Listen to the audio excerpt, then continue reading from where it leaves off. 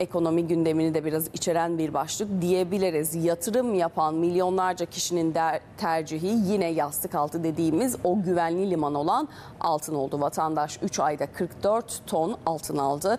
Geçtiğimiz yılda bu rakam 29 tondu. Aytaç Can ve Hakan Kahraman'ın haberini izleyelim.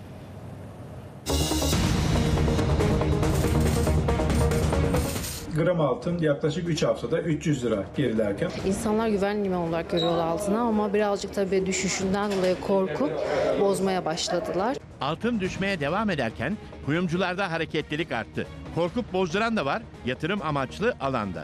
Ons altın şu anda 2315 dolar seviyesinde. Kısa vadede evet düşmeye devam edebilir ama uzun vadede altın her zaman kazandırır. Ne dolar ne euro vatandaş güvenli yatırım için yine altını seçti. İlk 3 ayda 44.4 ton altın aldı. Geçen yıl bu rakam 29,61 tondu. Gelip kesme altın alıyorlar, gram altın alıyorlar. E, işçilik olmayana tabii ki de daha çok talep var. 2024 yılının ilk çeyreğinde merkez bankaları e, toplamda 1238 tonluk bir altın alımı yaptı. Geleneksel bir yatırım olduğu için herkes onu tercih ediyor. Mayıs ayı altın piyasası için, altın fiyatları için daha sakin bir seyirde geçebilir. Altındaki düşüş devam ediyor. Dün 2470 liraydı. Bugün serbest piyasada 2450 liraya kadar geriledi.